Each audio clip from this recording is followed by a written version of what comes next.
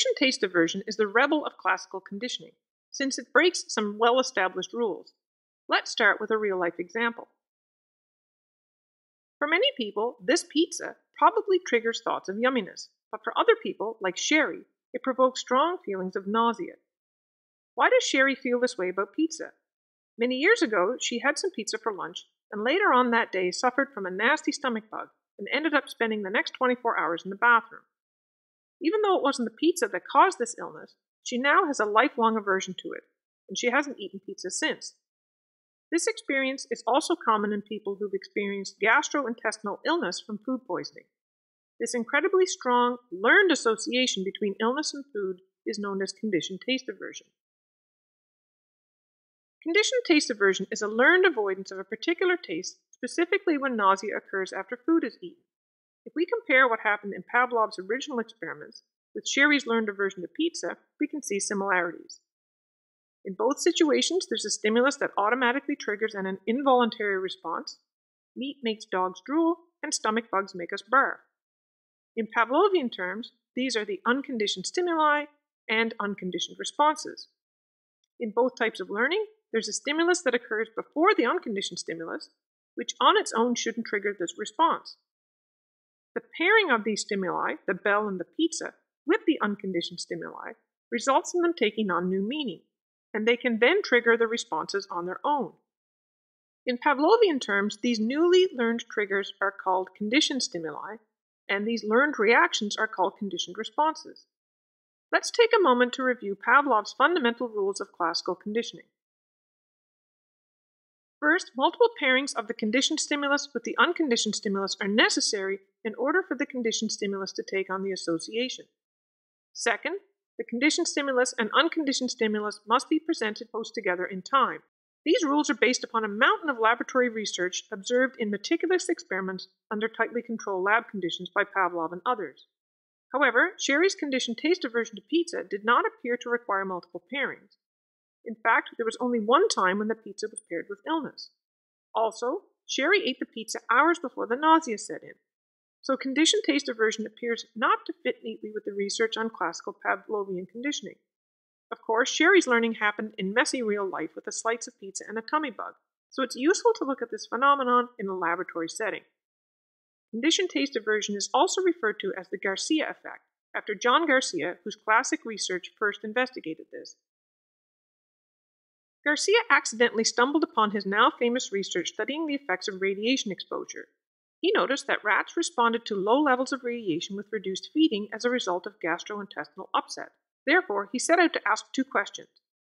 Can rats be conditioned to avoid a sweet taste, which rats ordinarily love, if it's paired with radiation, which makes them sick? And, if so, how long does this food aversion last? So, this is what he did to test his hypothesis. There were six groups of rats, exposed to one of three irradiation conditions a no radiation control group, low radiation, and high radiation for a period of six hours. For the six hour radiation period, rats were either given access to regular water or water with the artificial sweetener saccharin.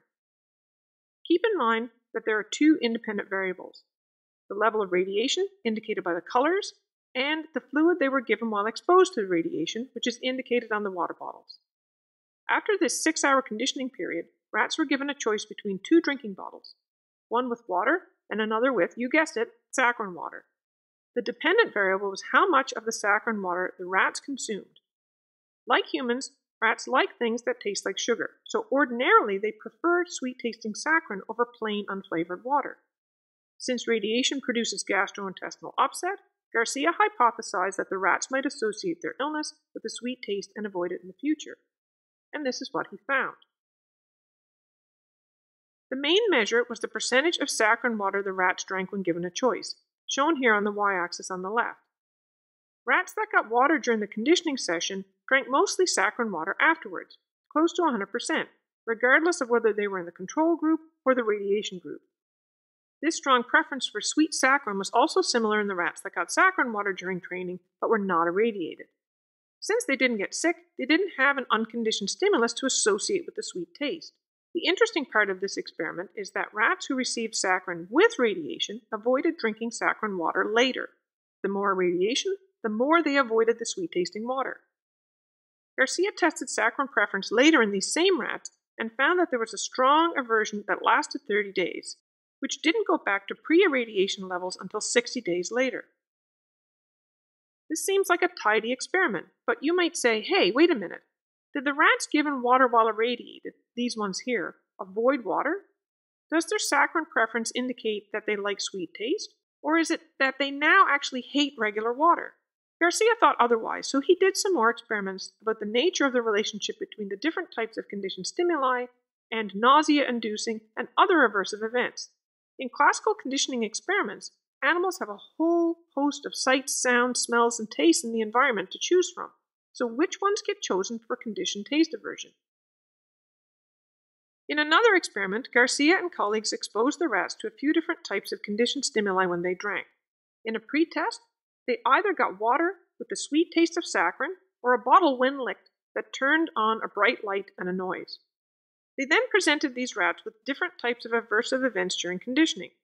Rats were randomly assigned to have all of these stimuli paired with either nausea inducing x rays or painful electric shocks. After conditioning, there was a post test where rats were given a choice sweet water or the tasteless but bright and noisy plain water. This way, they separated the conditioned stimuli to see if they were preferentially associated with particular types of aversive unconditioned stimuli. The X ray experiment is shown on the left in blue, and the shock experiment is shown in red on the right. In both cases before conditioning, rats drank roughly equal amounts of the sweet saccharin water as the bright noisy water, showing no strong preference for either. However, after conditioning with a different aversive unconditioned stimuli, there was a clear distinction in preference depending upon whether the rat had been conditioned to pain or illness. The rats in the nausea condition clearly avoided the sweet saccharin water, while those in the pain condition avoided the tasteless but bright and noisy water. This shook up the learning world, which firmly supported the idea that conditioned learning is universal, so it shouldn't matter which stimulus is paired with what. Garcia showed that our sense of taste is more easily conditioned to illness, while our sight and hearing are more easily conditioned to fear.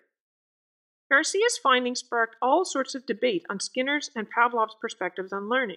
They maintained that the processes of associative learning were universal and general, and that any arbitrary stimulus could be used as a conditioned stimulus. But these conditioned taste aversion experiments showed otherwise. Garcia's findings fit with an evolutionary perspective on taste aversion in that it's important to learn which taste might make us sick. It's valuable to quickly associate the tastes and smells of particular foods with nausea in order to avoid contact with those potentially harmful substances again. This knowledge has been used to deter predators, such as coyotes, from eating livestock by placing carcasses laced with lithium chloride, a non lethal chemical that produces nausea, near the livestock they want to protect. Many farms have dramatically reduced coyote predation on sheep herds and turkey farms without trapping or shooting the predators, since the predator's own natural food aversion keeps them away. Hopefully, that gives you a clear idea of the phenomenon of conditioned taste aversion.